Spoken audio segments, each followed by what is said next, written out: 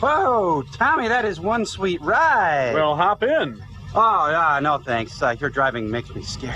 Oh, we won't drive anywhere. I thought we could be like the teeners in the movie, you know, Huh? sit and talk for a while, then maybe uh, make out. Oh, okay, that sounds like fun. What?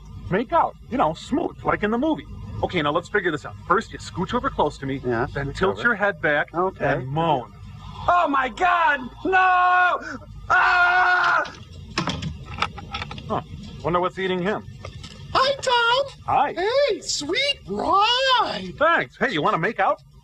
Uh, I, uh, uh, Oh, come on, please. As a friend, I've never been kissed before except on my arm, and I've never tasted lips. Uh, Commercial sign in two minutes. say, magic voice. No, Tom, I won't. Well, actually, I can't. I have no physical form. Oh, but you do know about it. Making out? Sure, it's nothing new. well, I guess I've heard of it before, too. It just never struck me like it did today. It seemed brand new.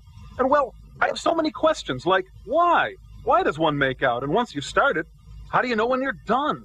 And now I consider it a greeting, like a firm handshake, only with the lips. Am I right? Oh, yeah. And is it necessary to use the lips? I mean, could I kiss with my forehead or my elbow? And are the teeth involved? And where the heck do you store your tongue? Another thing, do you suck or blow? Is it under some sort of strict rabbinical supervision or something? And here's a puzzler. Who kisses whom and when? I mean, being a robot, can I kiss animals? Or am I confined to a single species? Oh, yeah, I can't pucker. Is that a handicap?